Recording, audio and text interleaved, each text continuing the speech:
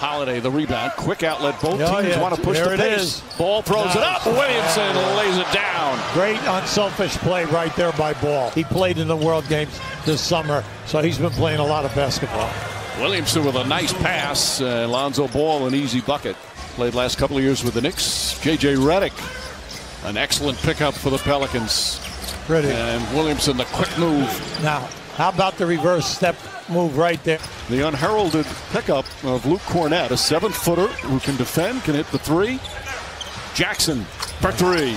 Now, there's the advantage of going power dribble into the paint. When you take Davis and Randle away, that's 47 points and 20 rebounds. Can you replace that? Well, you can see they have young legs here right now.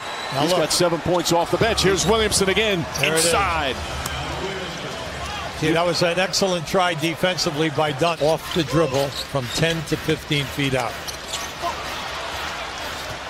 Barnett Nice. throws it away. Williamson inside, gets past LaVine and lays it up and in. Again, there's that balance. Lonzo Ball has seven assists already. Williamson goes right at Kornet, who holds his ground, but Ball just barrels into him, or Williamson does. If you're going to play the type of pace that Jim Yes. Boylen wants, you have to have a second unit that can be productive. Oh, Zion Williamson again showing those ball handling skills. 11 for 21 in the three ball. Holiday off the Yeah. errant Nice, and nice. flips it up, and pass. Williamson right there with a good soft hand. What I like about Holiday, unselfish.